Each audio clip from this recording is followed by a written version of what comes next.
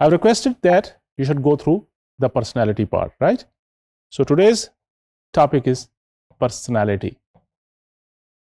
And what is personality? In common life, we say that person has a dashing personality. He or she has a nice personality. We mostly talk about the general appearance, the physiques, the look, and these type of things. But here, for our subject matter, we're not considering that part as our personality in personality definition, but we are mainly focusing on the behavior part. Of course, when we're talking about the personality of a human or any person, complete personality, when we are talking, that part is also there.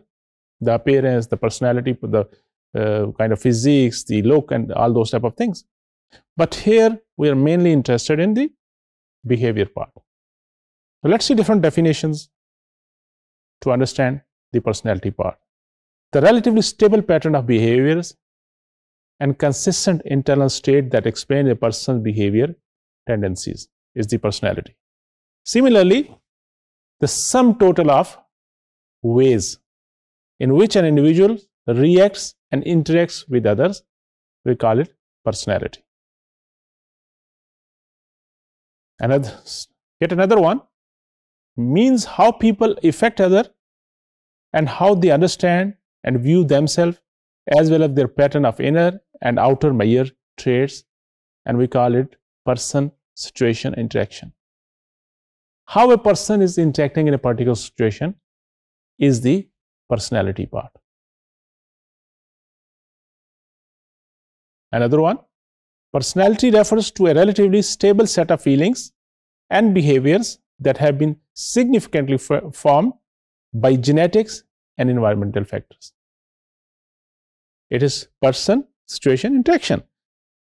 तो इसको क्या कह सकते हैं हम दो चीज़ें हैं एक है नेचर एक है nurture heredity forces and the pattern of life experience दोनों मिलके they're making the personality is a product of then we can easily say that personality is the product of nature and nurture how what was there the basic genetic material and how it was grown how it was raised the experience part is the personality और तीन जो personality में major चीजें part play कर रही हैं heredity the genetic part the environment surrounding and of course a particular situation in which he or she has been in, faced. So it is person, situation, interaction, and we call it the personality. Right? Let me explain this personality concept in a different way. Personality, how this concept of personality was originated. It came through a word persona, to speak through. Earlier, couple of decades back, even 100 years back, people used to perform different acts like stage function or other acts by wearing different masks. Now, whatever mask they were wearing, they have to react according to or they have to act according to the mask what they are wearing. So, in reality, too, see, I am at the moment, I'm wearing a mask of a teacher. And you sitting there, you are wearing a mask of a student. So now my action, my activities should match with the kind of mask I'm wearing. Similarly, you should be, uh, we are expecting from you that you will be behaving according to the mask which you are wearing, that is the mask as a student.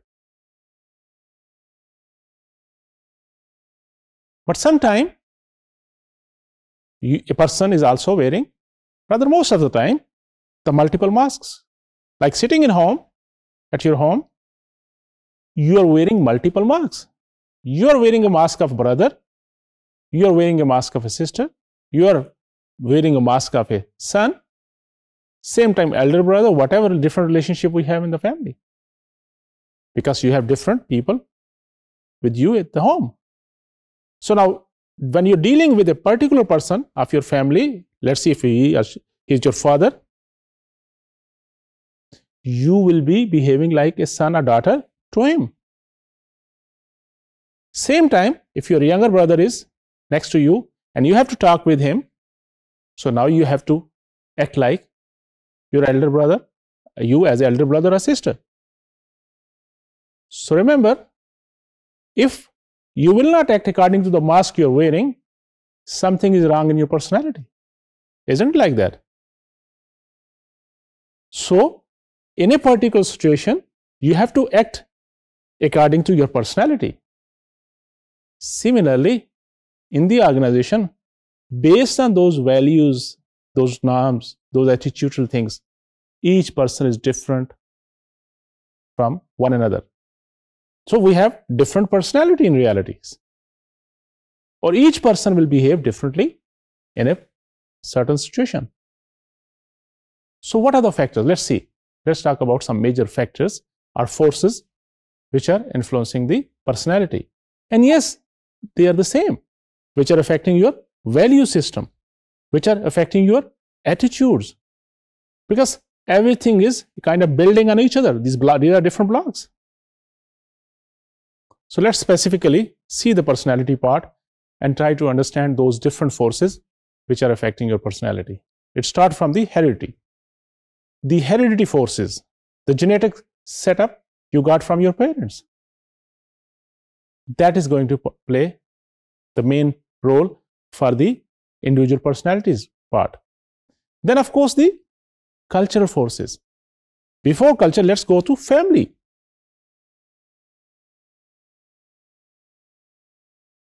As we discussed in the values and attitudinal lectures, during those lectures, the role of the family, the parents,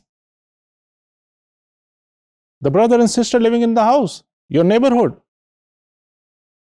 they're also playing very important role and they're acting as forces to shape up your personality.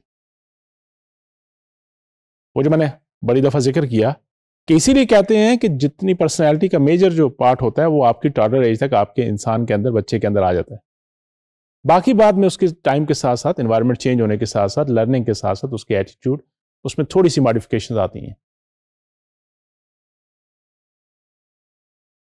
Agree so the second force let see is the family relationship forces वो जो आपका family system है that is affecting on your personality एक किसी lecture में मैंने आपको बताया था कि mostly in other countries people with the single parents they have been built deficiencies and people say this something was left in their personality that is why they are behaving very strangely तो वो जो forces हैं family की, और हम पे, हमारी country में अल्लाह का बहुत करम है कि वो still have very strong family forcing family forces और फैमिली सिस्टम है, जिसकी वजह से हमारी लोगों की पर्सनैलिटीज के अंदर एक स्टेबिलिटी भी मौजूद है। What about cultural forces the culture big way it is affecting your, the values, the attitude, and of course, the personality of a person. And logically, the behavior. किस कल्चर से हैं आप? आप पाकिस्तान का देख लें तो वी हैव डिफरेंट कल्चर्स आप रीजन को देख हैं सब कॉन्टिनेंट में we have different culture Pakistani culture other culture Sri Lanka का कल्चर है अपना, दूसरी कंट्रीज़ का अपना कल्चर है। Look at the world level religion wise देख सकते हैं। तो ये चीज़ें भी, ये फोर्सेस भी एक पर्सनैलिटीज को शेप अप करने में अपनी उस पर असर डाल रही होती एंड सिमिलरली जो आपकी सोशल क्लास है even within the culture you have social classes you have the reference groups which are also affecting your personality. जिस मैंने आपसे कहा था कि आपका उठना बैठना कितने साथ है वे यू फील कंफर्टेबल तो आपकी उस पर्सनैलिटी के अंदर कुछ ना कुछ उसका भी असर आ जाता है। And that is how people are different from one another people from the same family they are different from one another people sitting in the same group dwelling in the same refer in the self reference group they still behave differently because see the other forces are different if you take one force unique one factor, but still other factors are different for everybody. So nature has created each person different उसके values उसके ethics उसकी attitude और ultimately personality भी different हो जाती personality coming back to again and let's talk about the big five personality traits आपकी text के अंदर भी है a set of fundamental traits that are especially relevant to the organization. We are mainly focusing personality with relation to the organizational, या organisation behaviour setup और concept की बात कर रहे हैं। वो कौन कौन से हैं? एक्स्ट्रावर्जन इमोशनल स्टेबिलिटी एगेबलनेस ये तीन स्लाइड पे हैं। इनको देख लें क्या है? पहला क्या है? Refers to the tendency to be sociable friendly expressive इस तरह की कोई पर्सनैलिटी है तो उसको आप इस मॉडल में फिट इन कर सकते हैं।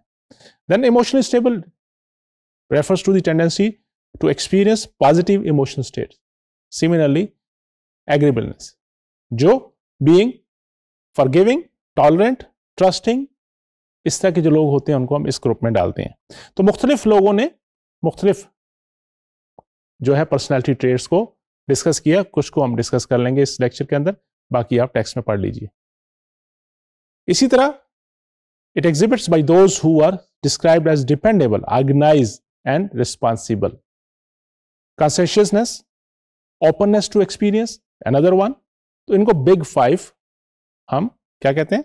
Big five personality model similarly let's see what is the relationship इससे पहले कि आगे जाएँ between the big five personality dimension and the career में क्या है? दो किस्म की इनकी relationship the big five traits are significantly related to both intrinsic और एक्सटेंसिक जो आपकी कैरियर uh, सक्सेस होती है उसमें. इंट्रेंसिक किसको कहते हैं? जो आपकी सेटिस्फेक्शन है पर्सनली एक्सटेंसिक किसको कहते हैं? जो आपको जिसका पेरिफरल फ़ायदा लगे इनकम है ऑक्यूपेशनल स्टेटस है ये सारी चीज़ें हैं। तो इससे भी रिलेट किया जा सकता है इसको समझ समझा जा सकता है। अगर आप थोड़ी सी रीडिंग करेंगे तो आपको ये चीज़ें समझ आ जाएँगे। वही बिग फाइव पर्सनैलिटी डायमेंशन जिनकी मैं ज़िक्र कर रहा था आपसे। Caring dependable secure, sensitive flexible, courteous, empathic, empathic, empathy से है। आउटगोइंग टाकेटिव हर एक के आगे देखें जो फाइव बेसिक मॉडल बताए आपको डायमेंशन बताइए उसकी की जो कैरेक्टरिस्टिक्स हैं वो बता रहे हैं। उसके अलावा टेक्स्ट के अंदर द मायर्स ब्रिग्स फ्रेमवर्क आपने एक डिस्कस किया है उसको देखते हैं वो क्या है। These are basically 16 different personality categories जिसने ये बताई है इसमें उन्होंने 16 डिफरेंट कैटेगरीज को आइडेंटिफाई किया है पर्सनैलिटी के लिहाज से and again remember we are talking about personality with reference to the work organization की बात करते हैं सेंसिंग से लेके इंट्यूशन से लेके जजिंग से लेके और परसीविंग चार कैरेक्टरिस्टिक डायमेंशन देखते हुए उन्होंने कुछ 16 ग्रुप्स में डिवाइड किया है वो डिफ सिक्सटीन ट्रेड्स आइडेंटिफाई किए हैं personalities What are those traits? Reserve, outgoing. Less intelligence, more intelligence. ये सारी चीज़ें डोंट गेट कन्फ्यूज़ देयर ये मुख्तलिफ़ थ्योरीज मुख्तलिफ़ चीज़ें जो इसलिए आपको डिस्कस की जा रही हैं आपके साथ, कि ताकि आपको वो बड़ी पिक्चर को समझना आसान हो जाए। दीज आर स्मॉल पीसीज वो पजल होती है ना जिस तरह। हर एक छोटे पीस को अगर अच्छी तरह समझ लें कि उसकी जो डायमेंशन समझ लें अगर तो फिर आपके लिए बड़ा आसान हो जाता है उस पजल को सॉल्व करना। तो let's see what are those 16 traits which has been discussed in your textbook. Should I go one by one? And let's discuss few of them. जैसे आपका रिज़र्व है आउट गोइंग है, कुछ लोग ऐसे होते हैं जो रिज़र्व रहना पसंद करते हैं अगेन उसके बैकग्राउंड देखा जाए, किस सेटअप से आए हैं, किस तरह की फैमिली ओरिएंटेशन थी, उसकी लर्निंग कैसी थी, उसके वैल्यूज़ क्या है, उसका बिहेवियर क्या है तो आप देखेंगे उसकी पर्सनैलिटी पे उसका रिफ्लेक्शन आ रही होगी people can be outgoing some people can be reserved they just mean business और जहाँ जितना काम है, उससे आगे नहीं सोचते। सिमिलरली इंटेलिजेंस की बात है। इंटेलिजेंट वो एबिलिटीज़ के अंदर अगर आपको याद होगा, हमने देखा होगा। इंटेलेक्चुअल जो आपकी वो कैपेबिलिटीज़ हैं, ये एबिलिटी और फ़िज़िकल एबिलिटी की बात करते हैं affected by the feelings emotion stable some people are very emotional थोड़ी सी बात पे एकदम खुद उसमें इन्वॉल्व जाते हैं। कुछ लोग they are very stable submissive dominate करते हैं कुछ लोग सीरियस हैं कुछ हैप्पी हैं लकी हैप्पी गो लकी और हैप्पी गोइंग है। सिमिलरली यानी दर trusting suspicious self assumes apprehensive, और नीचे जाके देखें some people stay relax some people are very tense. And those are the traits of the personality जो फिर आप कह सकते हैं कि वो फलां बंदा यार हर वक्त बड़ा हंसता खेलता रहता है। कुछ कहते नहीं वो बड़ा टेंस रहता है। कुछ कहते हैं वो बड़ा रिज़र्व है कुछ कहते नहीं वो बड़ा आउट गोइंग है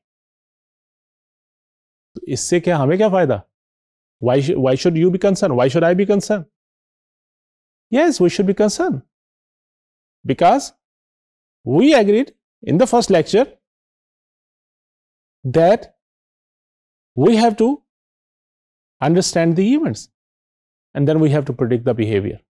And based on those predictions, we can influence the behavior. Why we want to influence the behavior?